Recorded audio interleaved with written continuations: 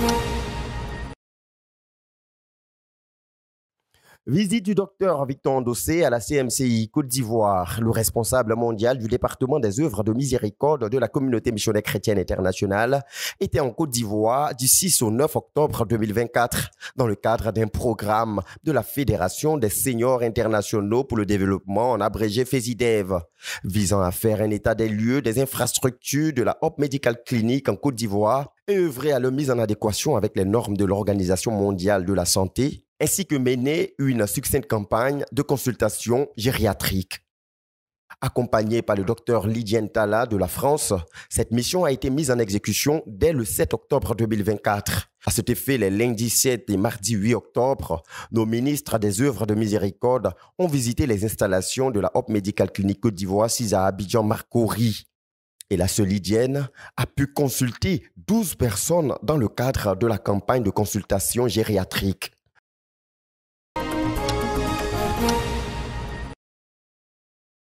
La soirée du mardi 8 s'est achevée avec le ministère du docteur Victor Andossé dans le cadre du cours de formation des dirigeants spirituels de l'église d'Abidjan. Introduisant son message par les principales caractéristiques des membres de la communauté missionnaire chrétienne internationale, il a précisé que les saints de la communauté missionnaire chrétienne internationale considèrent la Bible comme notre référence spirituelle suprême le Seigneur Jésus comme notre modèle suprême, le Saint-Esprit comme notre puissance avec laquelle nous travaillons pour Dieu, et les relations marquées par l'amour suprême pour Dieu et la communion avec Dieu, ainsi que l'amour pour les frères et l'amour pour les perdus, constituent le socle de notre marche quotidienne, sans oublier la puissance du tout d'un homme.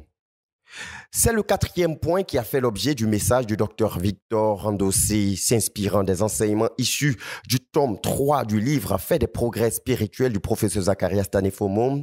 Il a présenté à l'Église l'importance et même l'indispensabilité des relations et de la communion fraternelle dans l'équilibre spirituel du disciple de Christ.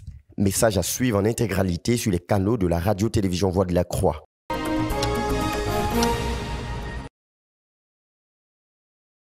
La mission du docteur Victor Randossé et de la seule Lydienne dans le cadre de la promotion des œuvres de miséricorde dans notre œuvre en Côte d'Ivoire s'est conclue avec la visite du quartier général de la communauté missionnaire chrétienne internationale Côte d'Ivoire, Quoi.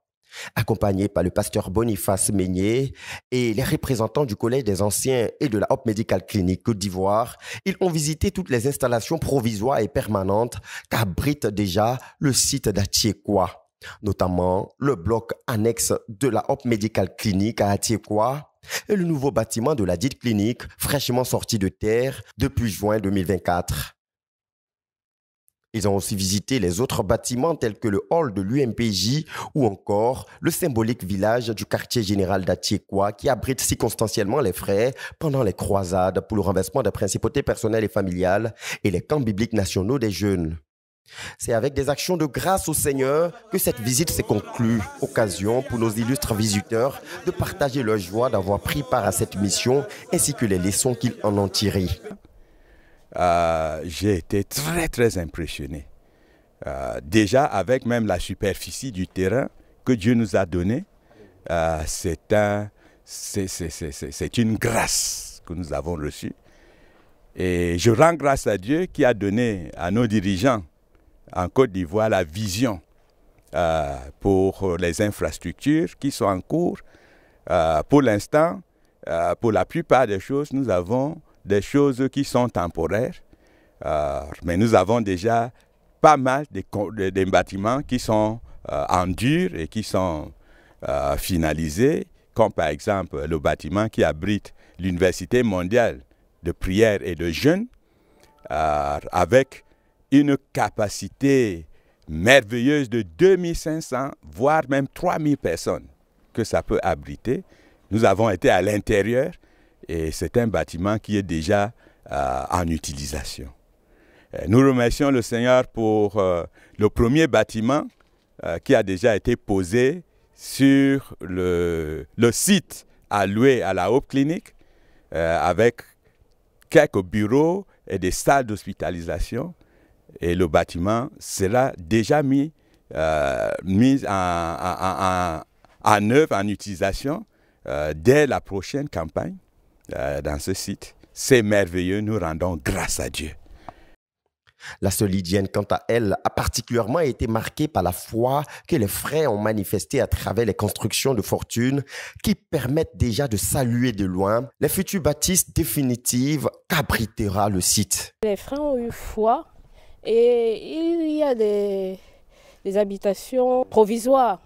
Quand j'ai vu ça, je n'ai pas compté, mais au fur et à mesure qu'on avançait, que je voyais le nombre, une chose qui m'est venue à l'esprit, c'est la foi de chaque frère. En fait, il y a à peu près 2000 qui, qui résident ici. Pendant la croisade, je disais, oh, ces frères ont véritablement une foi pour venir construire quelque chose de provisoire et rester là pendant les 40 jours. Et c'est l'une des choses avec laquelle je, je pars d'ici, un peuple de, de, foi. Gloire à Dieu. Et, et, par la grâce de Dieu, je, je nous prions afin que ce que le Seigneur a commencé avec vous et au travers de vous, il vous accorde la grâce, les ressources matérielles, financières et humaines pour pouvoir achever ce que vous avez commencé à faire ici à Tchékoua. Gloire à Dieu. Le pasteur Nathaniel Babatunde, deuxième responsable de la Hop Medical Clinic, en porte-parole de tous les agents de cette clinique et notamment du professeur Cyprien, premier responsable en absence pour cause de voyage, a traduit la grande satisfaction de l'équipe locale de la Hop Medical Clinic pour les grandes richesses et bénédictions qu'ils ont reçues au cours de cette mission. Merci au Seigneur parce que c'est lui, le Dieu, qui a mis cette bonne disposition dans le cœur de nos frères. Nous voulions dire merci au, premier responsable du département des œuvres de miséricorde, le pasteur et le docteur euh, Andossé Victor. Nous voulions dire merci infiniment à notre sœur, docteur Tala Lydienne, qui sont venus depuis trois jours maintenant nous apporter leur expertise pour que nous voyions au niveau d'un Hope Medical les choses que nous devons améliorer. Et au cours de leur passage, ils nous ont montré nos forces, peut-être que nous ignorions, ils nous ont montré aussi nos faiblesses. Et nous avons appris beaucoup, beaucoup, beaucoup de choses. Ils nous ont donné des, des, des, des conseils pratiques de comment faire. Et nous voudrions dire merci au Seigneur et leur dire merci pour cette visite qui nous a énormément bénis. Au pasteur Boniface Meignet de traduire à son tour les remerciements de l'Église aux illustres visiteurs, tout en réitérant l'engagement de l'œuvre en Côte d'Ivoire apprécié de l'avant dans la conquête pour l'accomplissement des desseins de Dieu dans la nation. Merci beaucoup.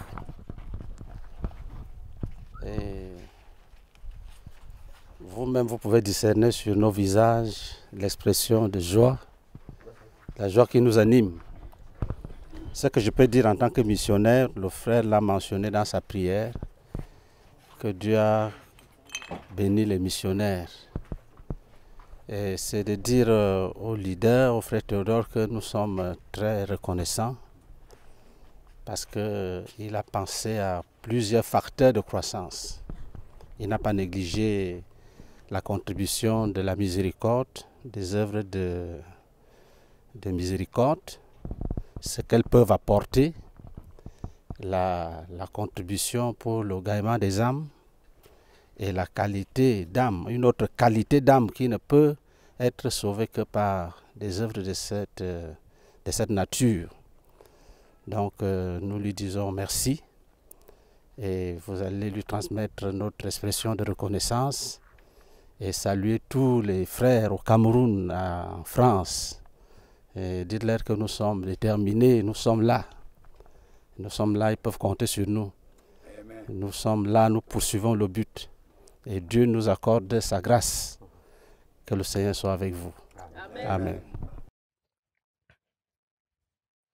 Le missionnaire d'Atchekwa, le pasteur Alain Kega, a symboliquement offert à la fin de la visite un poulet sanctifié, selon ses propres thèmes, au docteur Victor, en guise de souvenir de cette visite du site du quartier général de la CMCI Côte d'Ivoire à Atchekwa. C'est avec cette visite de la base nationale de la CMCI en Côte d'Ivoire que cette mission du docteur Victor Andossé et du docteur Lydienne Tala s'est conclue ce 9 octobre 2024. À Dieu soit toute la gloire pour toutes les richesses et bénédictions découlant de cette visite spéciale.